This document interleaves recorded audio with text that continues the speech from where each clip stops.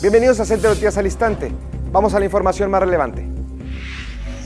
El segundo ciclo de conferencias en línea 2019, organizado por el Sindicato Nacional de Trabajadores de la Educación y la Comisión Nacional de los Derechos Humanos, iniciará el 4 de mayo y a partir del 27 los cursos online sobre diversidad sexual, género, convivencia en las aulas, acoso y violencia escolar, principios constitucionales en el servicio, respeto a pueblos indígenas, medio ambiente y sustentabilidad, todos desde la perspectiva de los derechos humanos, Ambas ofertas de profesionalización se derivan del convenio suscrito ente CNDH hace cinco años, por el cual se ofrecen a los agremiados talleres, charlas y conferencias presenciales y en línea, además de certámenes nacionales sobre distintos ámbitos dirigidos a alumnos, docentes y padres de familia.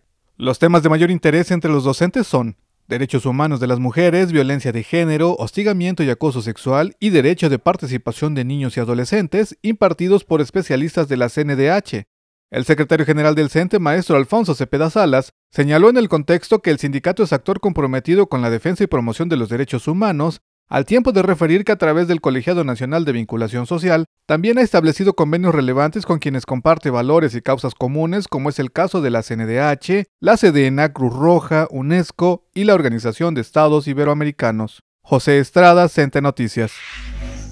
Gracias por acompañarnos. Esto fue Centro Noticias al Instante. Soy Rodrigo Maínez y justo aquí.